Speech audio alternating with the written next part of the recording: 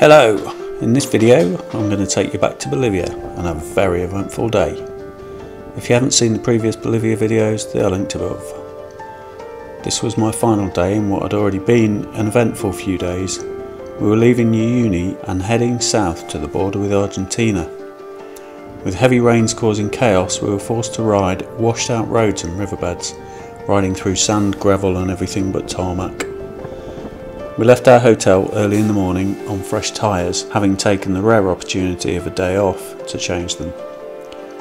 Our route was around 280 miles, and only 100 miles on the Argentinian side was tarmac.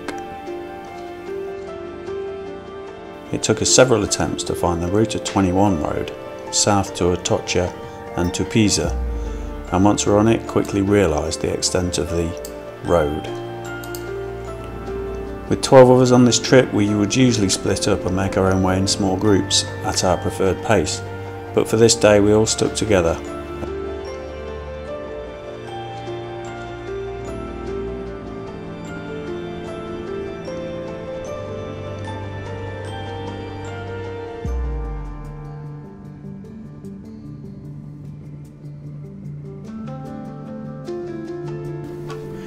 It's hard to believe people live in these surroundings, let alone what they do to survive.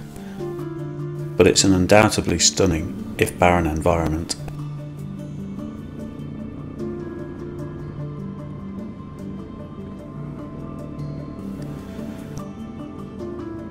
It was going to be a particularly challenging day for my mate Gary. His Triumph Explorer is not the best balanced of its generation of adventure bikes, and as we picked our way through the sand, he had a minor fall on the crest of a hill.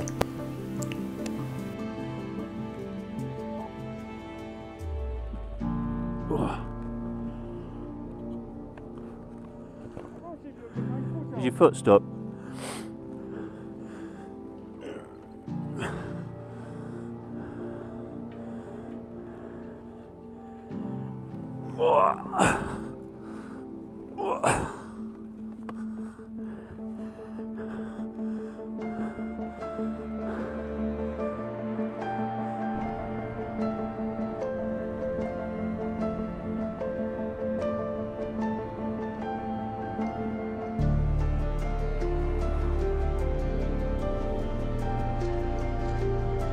Beyond Atocha, the track became a bit more recognisable as a road, an easier going gravel piste surface, climbing up into and over the ochre coloured Andes mountains in awe of the landscape.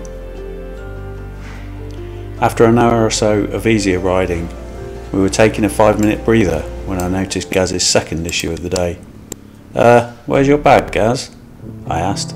He normally has a large dry bag with all his clothing strapped to the passenger seat of his bike, which seemed notably absent. He jumped off his bike and with a raft of unrecognisable Durham slang and expletives, realised he'd lost his bag. We'd travelled so long between stops that to go back would lose us up to two hours, and we were tight for time as it was to cross the border post.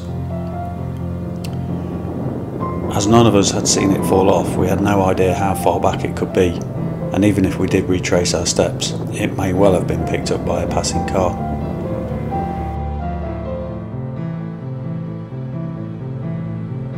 We pressed on south towards the Argentinian border with relative ease. The border was on the edge of a small town and defined by a river bridge. After stamping our passports out of Bolivia, we began the ever tedious process of queuing and waiting to get our passports stamped and motorbike through customs. Typically, we arrived just after a coachload of tourists, so it took about an hour and a half. On the Argentinian side, the road opened up and we made much better time to cover the final 100 miles and relaxed in a local tavern with our first real taste of Argentinian steak and red wine.